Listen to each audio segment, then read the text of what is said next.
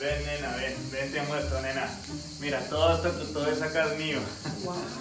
¿Todo esto? Todo eso, sí. El problema es que no sé dónde meter tanta cosa ya. Estoy pensando a ver qué hago.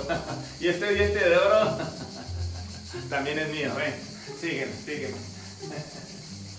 Mira, nena. Esto también es mío, mira. Mira, bombón. La estoy descrestando. Mira, nena, todo esto es mío.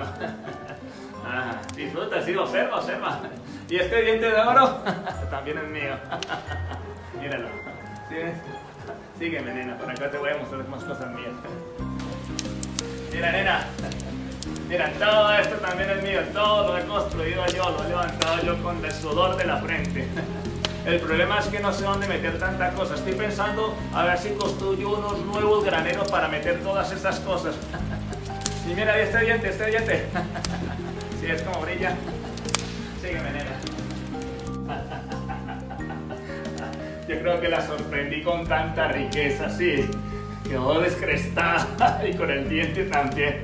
Ay, bueno, la verdad es que yo ya no sé qué hacer con tanta cosa. Ah, ya sé, ya sé lo que voy a hacer. Destruiré mis viejos graneros y mandaré a construir unos mucho más grandes. Y allí, allí, guardaré lo que he cosechado y todo lo que tengo. Y después diré, ya tienes suficientes para vivir muchos años. Come, bebe, diviértete y disfruta de la vida de lo que más puedas. Necio, esta misma noche vas a morir y otros disfrutarán de todo esto que has guardado. ¡Me tragué el diente! ¡Santo Dios! ¡Pobre hombre! Era tan pobre, tan pobre que lo único que tenía era plata. El rico insensato. Como se le conoce a esta parábola, es una imagen del hombre que confía en sí mismo y trata de fabricar su camino y asegurar su futuro sin la ayuda de nadie, incluyendo a Dios. Nuestro Padre Celestial no se anda con rodeos con este hombre. Y al entrar en escena, Dios lo llama de inmediato necio. Al solo confiar en su orgullo, este hombre no dejó nada al final de su vida, excepto una montaña de cosecha y riquezas.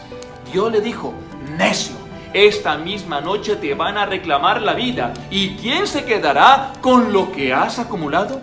El mensaje para nosotros hoy es que cuando nos lanzamos por nuestra cuenta e iniciamos acciones sin pensar en Dios, nos comportamos como necios. El Señor tiene un plan para nuestra vida y sabe dónde tendremos éxito y dónde fracasaremos. Así que confiemos que nos dirigirá y pongamos nuestra confianza no en nuestros bienes ni en las riquezas, sino nuestra confianza y nuestra esperanza en Él. Que Dios los bendiga.